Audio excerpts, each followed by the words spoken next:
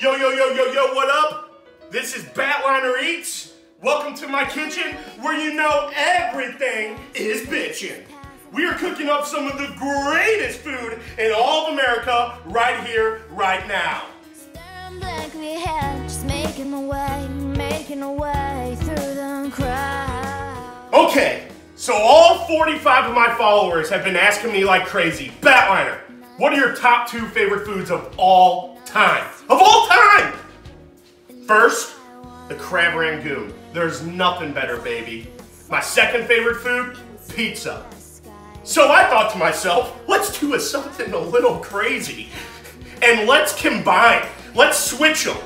So today I'm gonna be making a pizza rangoon and a crab rangoon pizza for your viewing and tasting pleasures.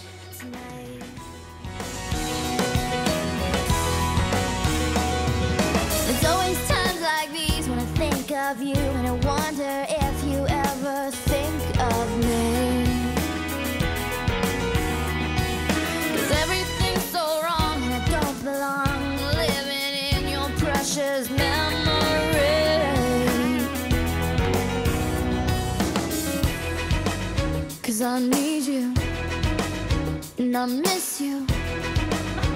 Oh god, that, that's a good one, Steven. Oh hey, what's up? Why don't you come follow me over here? I'm gonna show you how to make the fillings for the pizza crab rangoons. First, what we're gonna be doing, we're gonna be cooking up some big, beautiful bacon.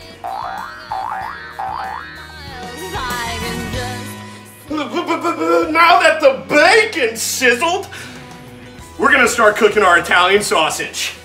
Now grab like a, probably about a half pound and then put it in this bacon fat. Ooh, you already hear it sizzling. You ready? Now we're gonna cook this until it's completely cooked all the way through, and then we're gonna add that to our pizza rangoon mixture. All right, so what we have here, we're gonna make our fixin' for the pizza rangoons, the filling that's gonna go inside the wontons here. So we already have our sexy Italian sausage and our cooked sizzling bacon. So what we're gonna add now is some pepperonis. Hey, how you doing? And I, uh, I diced up some uh, mushroom and green pepper. We're gonna add that in there. Make this like a supreme pizza type pizza rangoon. Oh, the beauty of it all, the ricotta cheese. This nice little plop in there. Oh my goodness.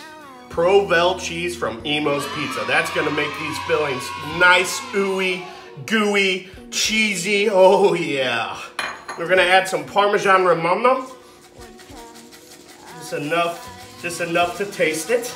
And then we're gonna add our seasonings here. We got some salt,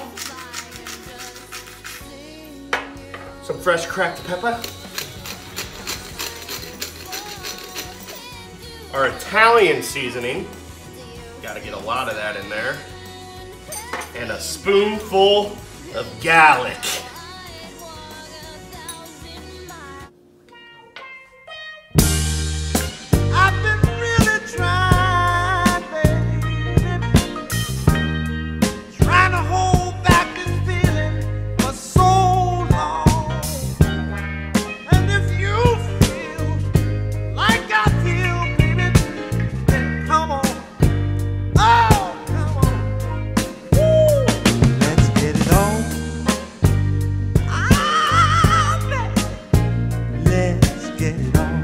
Made the filling onto the wrapping.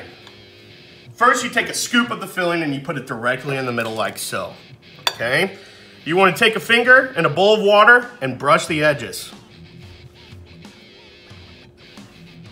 Once you have done that, you are now going to begin the folding process.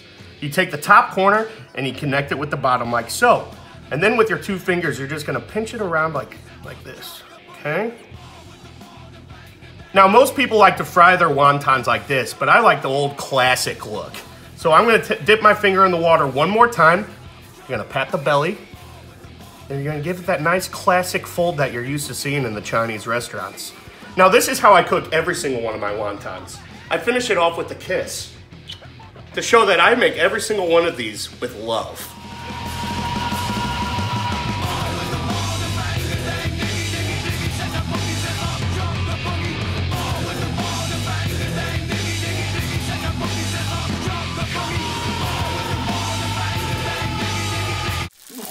Nick! Back up! That pan is piping hot!